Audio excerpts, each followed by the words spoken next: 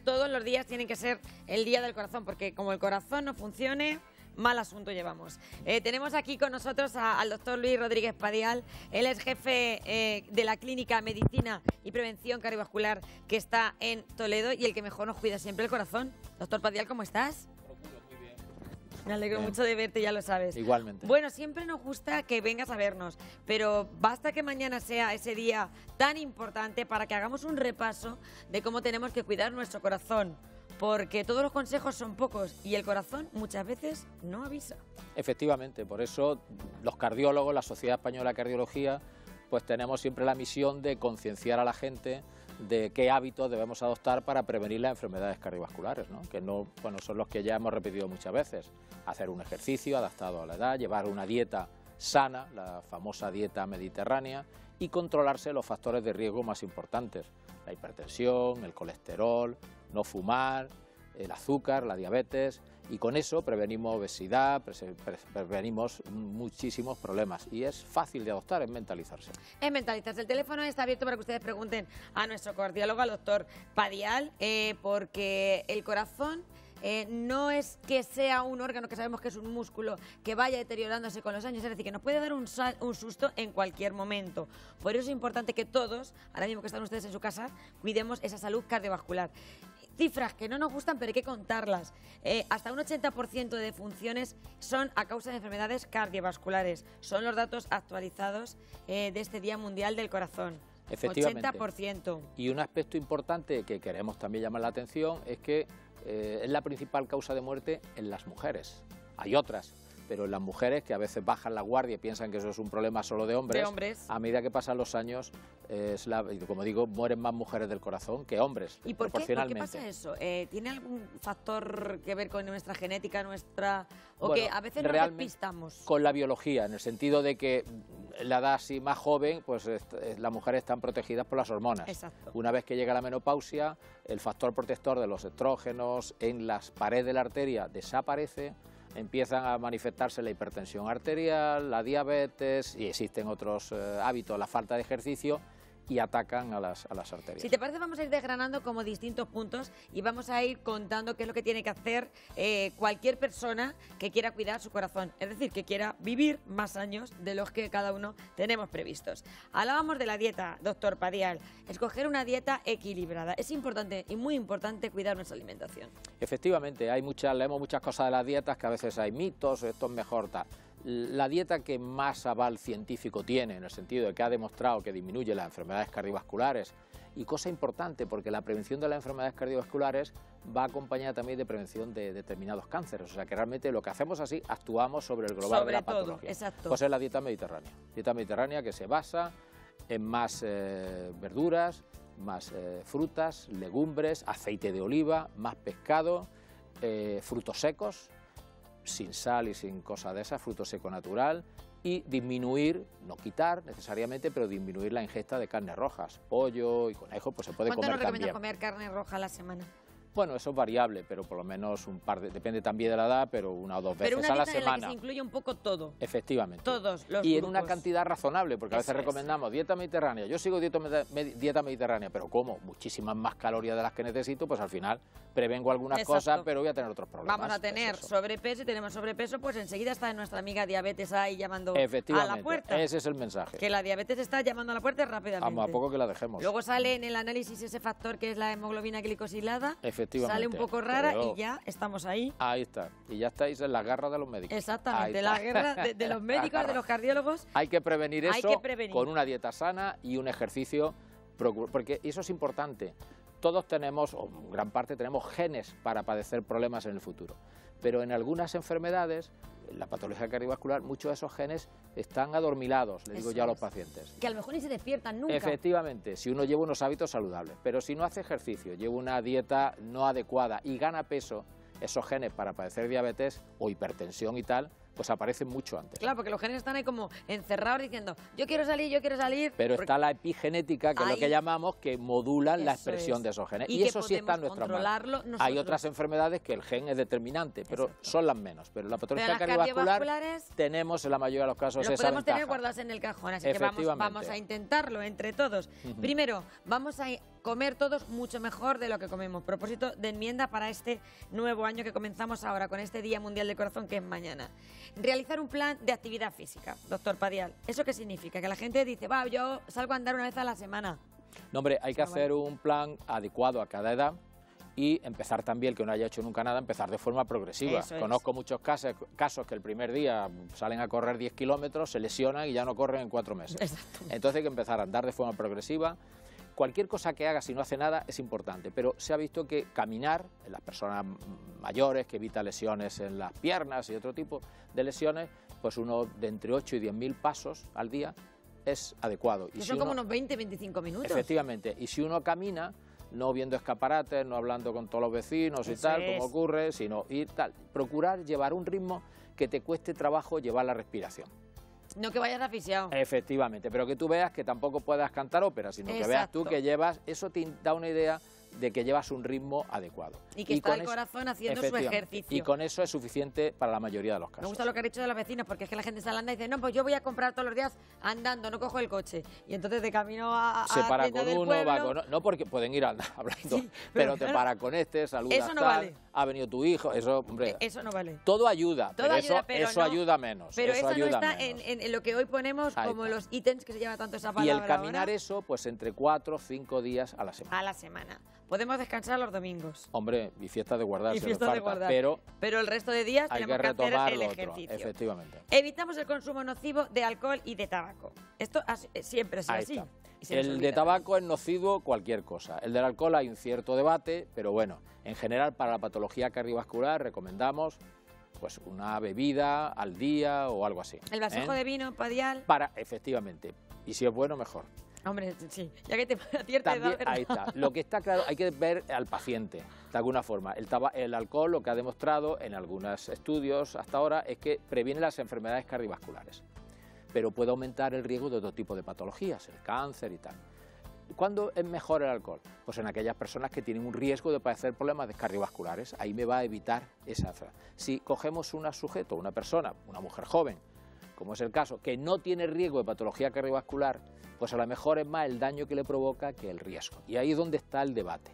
Pero en una persona de edad media, que es lo que estamos dirigiendo y tal, pues una copa al día, por lo menos para la prevención de las enfermedades cardiovasculares, en principio es aceptable. La gente dice, ¿y la de la cena también otra copeja o tú una? Esa le gusta menos dos a chicas, dos chicas entonces. que no sean dos copas de ¿No te acuerdas de, los vasos estos de vino de los pueblos de cristal? Los chatitos esos Los tal, pues chatitos.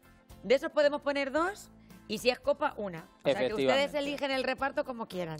Pero sin abusar. Y al que le guste la cerveza, pues si hay cerveza no hay vino. Si hay vino no hay cerveza. No podemos si no, combinar. Eh, nos vamos sumando que entonces ya nos metemos en, zonas peligrosas. Bueno, y, hablando del tabaco, eh, que ahora que estamos con los vapers, que ahora ya la gente está mm, descontroladísima con los vapers no se recomiendan en absoluto, porque además se ha visto que produce daños también el pulmón, en algunos casos daños muy llamativos. Ha habido incluso muertes en Estados Unidos efectivamente. Eh, por problemas de los vapers ahí no saben lo que le echan casi, hacen combinaciones químicas y tal, y hay publicados casos con unas neumonitis y afectación pulmonar. sí, ¿eh? sí, no, yo una por ahí. Y en gente joven que nos preocupa todavía más. Y como el vapor parece que todo el mundo se lo pasa, donde me voy a meter en un tal, y como se puede, está permitido, aunque yo ya estoy viendo carteles que me alegro que, pone prohibido el uso de vapor. Porque al final yo tampoco porque tengo que estar inhalando efectivamente, el humo porque, también somos pasivos del vapor. efectivamente, una vez que se ha visto, porque al principio había la duda e incluso se planteó que si te quita de algo muy malo, aunque esto sea regular, bueno, siempre vamos ganando. Pero no siempre es regular y, no controlas lo que hay. Hay muchas sustancias ahí que no sabes. Entonces conviene evitarlo y desde luego evitar la exposición de alguien que no se quiere poner a eso. Yo soy partidario de darle libertad a los pacientes. Totalmente. Y de manera informada y que luego elija. Pero claro, el que va allí y que no sabe, eh, también tiene su derecho a que no le echen el humo. Totalmente. Tome tiempo de calidad para disminuir el estrés. El estrés, no sé si lo tenemos que haber puesto eh, arriba, porque últimamente el estrés está provocando muchos sustos. Efectivamente, aparte que el estrés influye mucho en los otros factores de riesgo, ¿no? Si la mente está continuamente tal, pues eso te sube la tensión, eh, incluso modifica a veces los lípidos y indirectamente acelera el corazón y te puede producir daño directo en el corazón.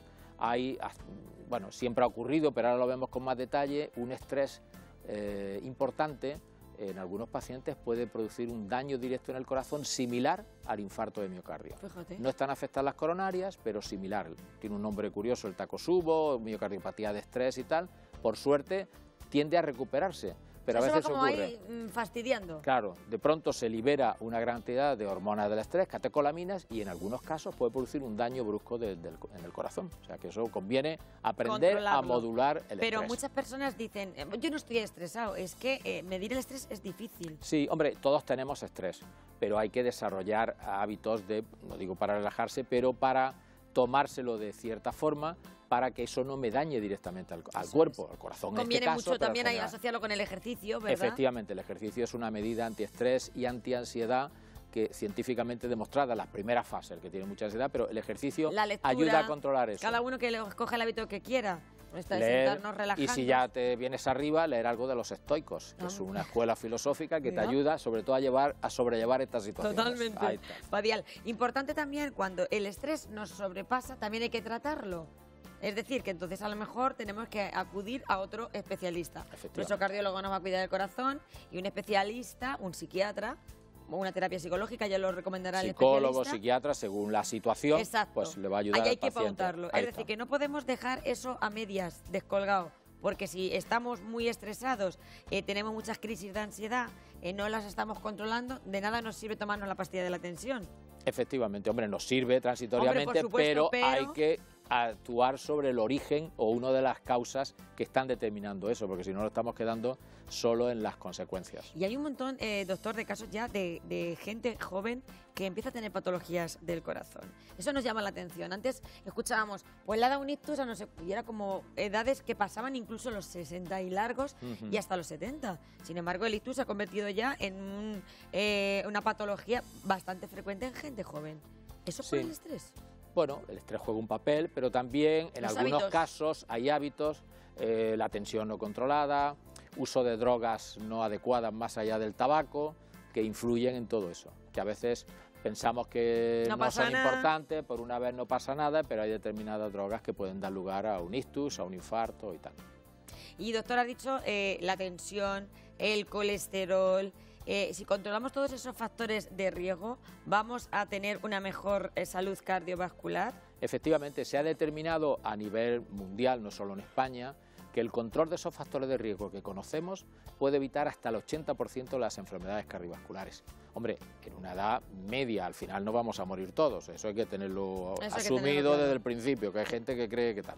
Pero si no vas a tener un problema a los 50 y llegas a los 70, a los 80 años en buen estado de salud, eso supone un gran beneficio para la sociedad, para el paciente. Ya te digo, hasta el 80% se puede controlar, no solo aquí, sino a nivel mundial. En unos sitios hay que actuar más sobre la dieta, en otros sitios más sobre el tabaco, en otros tal, pero globalmente ese es el papel que... Por eso controlarnos la tensión, controlarnos el colesterol que empieza a subir, se empieza a descontrolar, no dejarlo que suba a 260. Si con 230 ya empezamos a modificar nuestra dieta, pues no nos va a subir Efectivamente, nunca tanto. y consultar, porque el colesterol y en alguna fase y según la elevación que tengas, se controla con dieta y con hábitos sanos. En otros casos necesita fármaco, eso es el, médico, no pasa nada. Y eso es el médico el que debe determinarlo según el paciente, según la edad, los otros factores de riesgo y tal. Nosotros valoramos siempre riesgo-beneficio cuando utilizamos los fármacos. Eso es. Y hombre, los fármacos son bien tolerados, lo digo porque a veces las estatinas, que son los fármacos que, utilizamos, todo el mundo lee, uno le dice que no sé cuánto. Los dolores articulares, y yo no me la tomo, me la tomo un tiempo y se me quita el... Pero previene muchos infartos, previene muchas muertes. Y lo que no nos llama es el que se tenía que haber muerto y no se murió ayer porque está tomando la... No, ese ya no llama, pero el que se tenía que haber muerto, pero porque toma la estatina no se murió, ese no lo sabe y nos dice, oiga, que, me he evitado un infarto. Pero nosotros cuando hacemos los estudios con cientos sí, que nos de miles de estadísticas maravillosas. pues vemos que supone una clara mejoría y una reducción de eventos cardiovasculares. Al hilo de, otro punto que quería tratar, más vale prevenir que lamentar.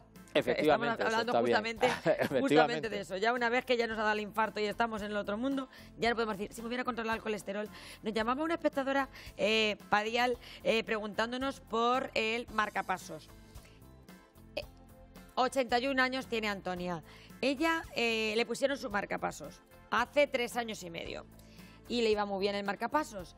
Pero dice cuando sale a andar ahora ya se nota que se cansa más. Se tendría que revisar. Hombre, eso, eso de- puede ser de eh, cómo tenga ya el corazón, porque el marcapasos te ayuda en algunos problemas, pero no te lo resuelve todos. A lo mejor hay algún problema en el corazón que, es- que le da el que se canse. Y luego, pues en la revisión del marcapaso, que se lo digan, porque a veces el marcapaso hay que ajustarlo No más o menos aparato. para cada situación del corazón y para cada tipo del corazón. A lo mejor en su momento lo tenía bien adaptado y ahora pues hay que ajustar, porque a veces puede dar arritmias, puede tal, pero eso que lo comente a su médico, a su cardiólogo, para que vea el global del corazón. Que a lo mejor es y importante cuando- que haga una revisión y de cuan- su- efectivamente, de su cuando revise el marcapasos, pues se lo pueden adaptar. Doctor, otra pregunta. Hemos hablado ya del colesterol y vamos a hablar también un poquito de, de la tensión. Ni muy obsesionados con la tensión de tomárnosla tres o cuatro veces al día, ni no tomarnos nunca la tensión. Efectivamente. Lo que hay que tomar todos los días son las pastillas. Eso es. Que Hay gente que se lo digo porque lo que utilizamos habitualmente son pastillas, Totalmente. medicación. Y una vez que uno tiene una tensión bien controlada, con tomársela cada 15, 30 días es más que suficiente, no hace falta más, o si en algún momento se nota alguna alteración. Y doctor, eso eh, cuando me la tomo por la mañana inmediatamente, porque cambian mucho los valores dependiendo de la hora Sí. del día. Nosotros para muchas veces en eso recurrimos a lo que se llama un mapa, monitorización de la presión, y vemos que en la media, en la población, suele estar más alta a primera hora de la mañana, y luego a lo largo del día disminuye. Pero bueno, O sea, ¿tú conviene... crees que, por ejemplo, a lo mejor tranquilamente así por la tarde sería una buena hora? Sí, pero también conviene mezclarlo. Me Mezclarlo. explico, pues un día me lo tomo por la mañana, valores, otro día me lo tomo por la tarde y cuando Eso vayamos es. al médico lo llevamos escrito, puesto a tal hora tal y ya nosotros nos hacemos una Un idea. tensiómetro está bien tener en casa, Sí, sin obsesionarse, pero está bien. sin obsesionarnos. Y otra vez, a otros Sí. pacientes que eso tal, pues a lo mejor si roncan por la noche eh, y se quedan sin respirar, no por roncar solo, que hay algunos que tienen lo- la apnea del sueño, del sueño. y un familiar lo puede notar, pues en eso le sube la tensión más por la noche. Conviene verlo porque a veces hay que controlar la apnea para controlar la tensión, porque si no es difícil controlarlo todo. Todo, ¿eh? Hay factores que hay que eh, adoptar eh, tratamientos específicos para esos. Doctor Padial, nos cuidamos el corazón, ya para terminar, lo suficiente. Tú, por tu experiencia que tienes, llevas muchos años aquí, Hombre, pues en este gran hospital que tenemos ahora en Toledo, Hombre, siempre es mejorable. ¿Eh? España no es de los países que más mortalidad cardiovascular tiene, más bien es de los que tenemos menor mortalidad. Pero lo que sí estamos observando es una tendencia a empeorar la dieta, sobre todo en los jóvenes, la falta de ejercicio, no hay más que ver Esa las tasas, las tasas de obesidad que vemos en jóvenes, en mayores y tal, y eso hace que desde la Sociedad Española de Cardiología queramos llamar la atención para decir, ojo, no vamos mal, no íbamos mal, pero el camino que llevamos Nos no, es muy bueno, nos efectivamente. estamos torciendo un poco, Y hay que cogerlo claro. pronto, hay que cogerlo pronto. Pues hay que enderezarnos, doctor. Padial. Muchísimas gracias eh, al doctor Luis Rodríguez Padial, ya saben, cardiólogo, jefe de la clínica Medicina y Prevención Cardiovascular que está aquí en Toledo y también lo tienen ustedes en el Hospital Universitario de Toledo. Muchísimas gracias por Gracias a cuidarnos. y yo me gusta terminar ¿eh? siempre con tu frase que la utilizo mucho, tranquilidad y buenos alimentos. Como Efectivamente. dice Padial. Y ejercicio, hay que Y añadir ejercicio. Gracias, doctor.